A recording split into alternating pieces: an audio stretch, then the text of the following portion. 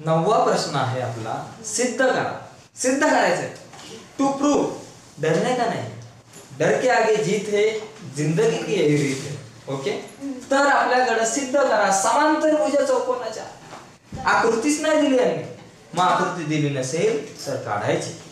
कशी काढायची बघा? काय दिला? मग समांतर भुजा चौकोन सांगितलंय. समांतर भुजा चौकोन दिलाय. उल्लेख केलेला आहे. मग त्या समांतर भुजा चौकोनाचीच आकृती काढायची. दुसरी कशाची काढून टाइमपास करत नाही बसायचं? समांतर भुजा चौकोन दिलाय तर मी कुठली आकृती काढणार? समांतर भुजा चौकोनाची. बाकी मला काय घेणं देणं नाही.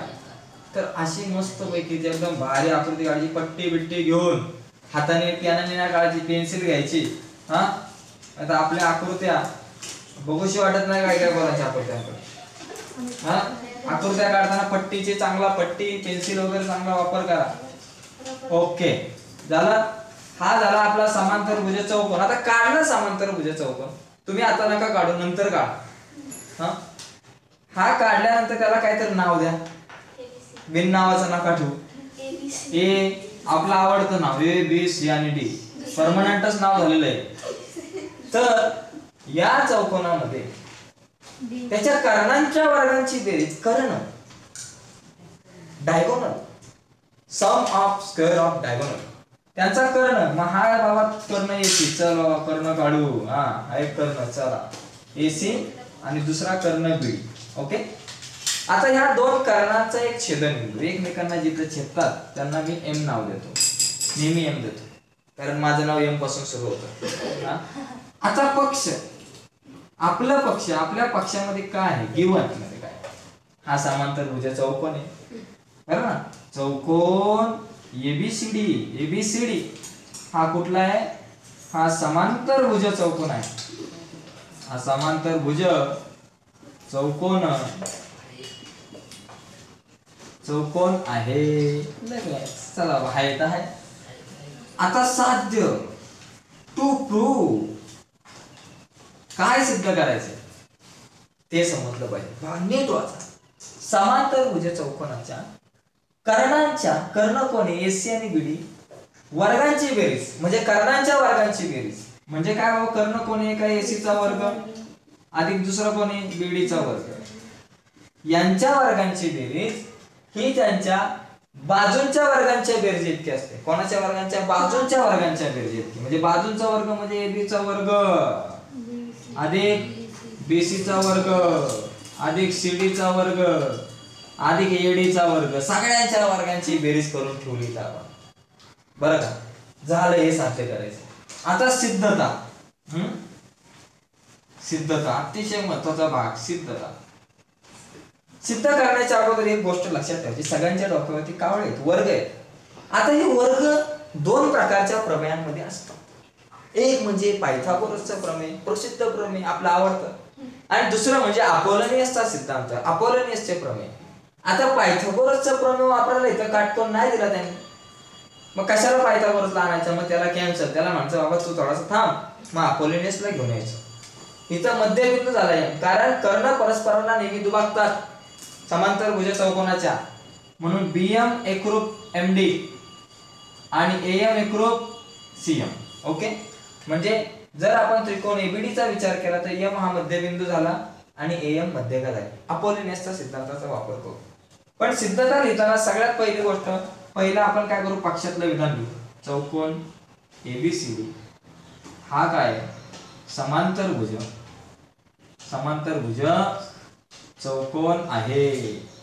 कस आपलं पक्ष given quadrilateral ABCD is an parallelogram मग समांतर भुज चौकोन असेल तर दोन गुणधर्म इथं लक्षात ठेवायला पाहिजे.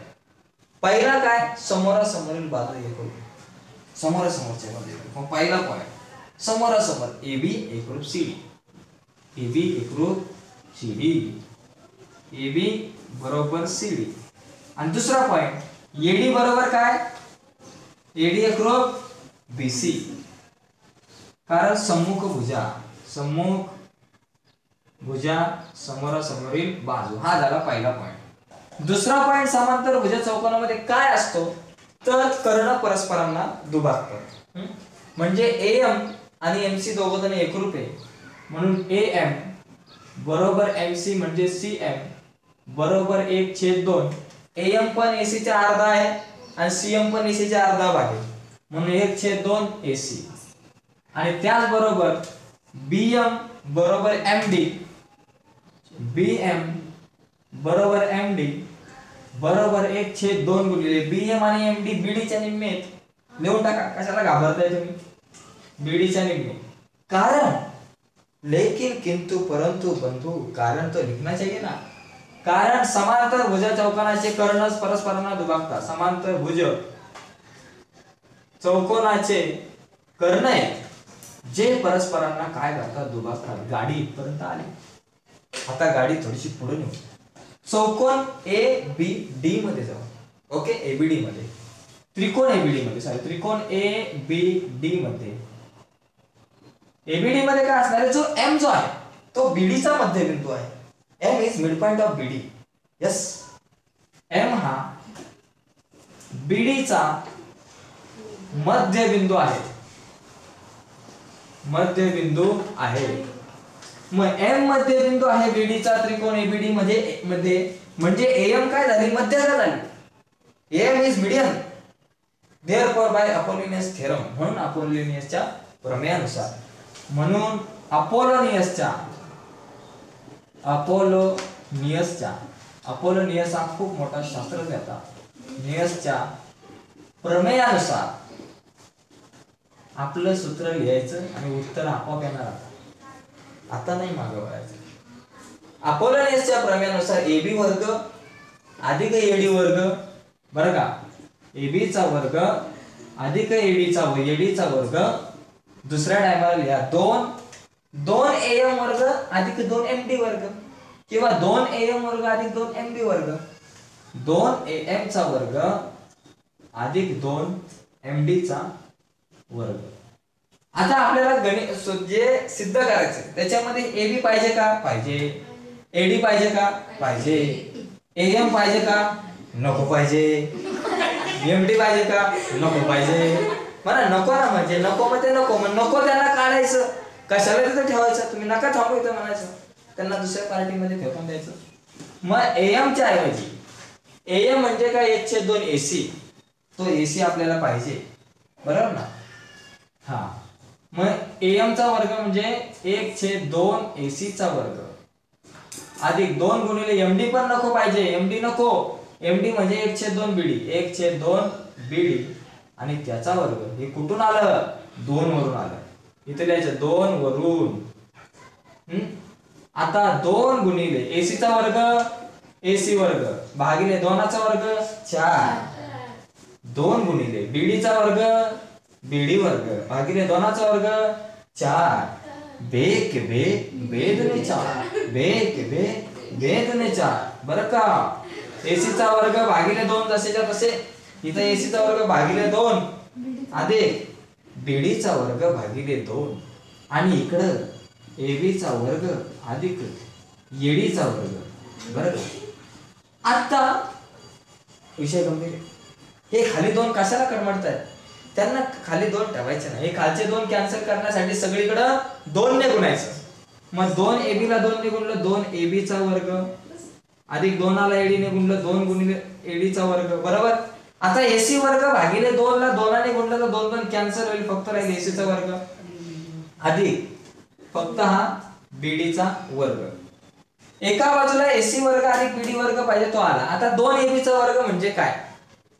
दोन एबी चा वर्ग म्हणजे एबीचा वर्ग अधिक एबीचा वर्ग म्हणजे दोन एबीचा वर्ग असतो म्हणून दोन वेळा आलो.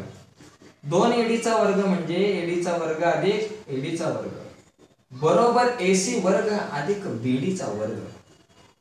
आता विषय असा आहे सिद्ध काय करायचं बघा एबी वर्ग पाहिजे आणि एडीचा वर्ग पाहिजे. बीसी आणि सीडी पाहिजे. आता एबी आपण इथं कुठं तरी लिहिले एबी बरोबर सीडी मग तुम्ही एका एबीच्या ऐवजी सीडी लिहू शकता जो सीडी पाहिजे. आणि एडीच्या ऐवजी बीसी लिहू शकता. एका एडीच्या ऐवजी बीसी लिहू शकता. जो बीसी सुद्धा आपल्याला पाहिजे. ठीक आहे? मग इथं आपण करू एबीचा वर्ग. अधिक या एबीच्या ऐवजी आपण काय लिहिणार? एबीच्या ऐवजी सीडी लिहिणार. सीडीचा वर्ग. अधिक या एडीच्या ऐवजी आपण काय लिहू? बीसी लिहू. अधिक बीसीचा वर्ग आणि अधिक हा बिचारा आता एबीचा वर्ग तिकडे राहील. बरोबर एसी वर्ग अधिक बीडीचा वर्ग. म्हणजे आपल्याकडे काय येणार? एसी वर्ग अधिक बीडीचा वर्ग.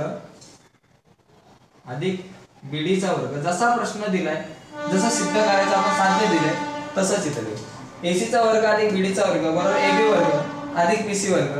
अधिक एडी वर्ग.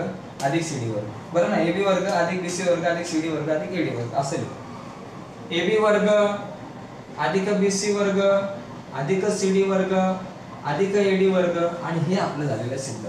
अशा प्रकारे आपण कुठलीही सिद्धांत सिद्ध करू शकतो. फक्त कुठलं प्रमेय वापरायचं कुठला गुणधर्म वापरायचा तो एकदा कळाला. आरामात एकदम सोप्या पद्धतीने विचार करून तुमचं डोकं चालवलं पाहिजे. अजूनही वेगळ्या कुठल्या तरी पद्धतीने आपण हे गणित जे आहे हे सिद्ध करू शकतो. ओके? अनेक पद्धती त्याच्यामध्ये आपण ही पद्धत बघितली. तुमची जरी एखादी पद्धत असेल तरी तुम्ही तुमच्या पद्धतीने सोडवू शकता आणि त्या पद्धतीने सुद्धा बोर्डाला मार्क मिळू शकतो. ओके?